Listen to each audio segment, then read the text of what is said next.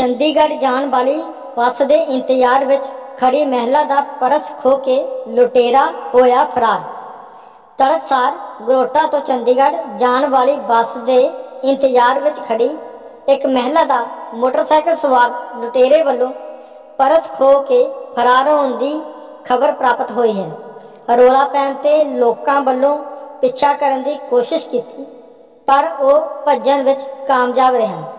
ਪ੍ਰਾਪਤ ਜਾਣਕਾਰੀ ਅਨੁਸਾਰ ਪਿੰਡ ਜੰਡੀ ਵਿਖੇ ਮੀਰਪੁਰ ਚੌਂਕ ਨਜ਼ਦੀਕ ਖੜੇ ਇਕੱਲੀ ਔਰਤ ਜੋ ਚੰਡੀਗੜ੍ਹ ਵਾਲੀ ਬੱਸ ਦੇ ਇੰਤਜ਼ਾਰ ਵਿੱਚ ਖੜੀ ਸੀ, ਸਵੇਰੇ 5 ਵਜੇ ਦੇ ਕਰੀਬ ਮੌਕੇ ਤੇ ਇੱਕ ਮੋਟਰਸਾਈਕਲ ਲੁਟੇਰੇ ਨੇ ਕਿੱਥੇ ਜਾਣ ਬਾਰੇ ਪੁੱਛਿਆ ਤੇ ਫਿਰ ਦੌੜਦਾ ਆ ਕੇ ਉਸ ਦਾ ਪਰਸ ਖੋ ਕੇ ਫਰਾਰ ਹੋ ਗਿਆ।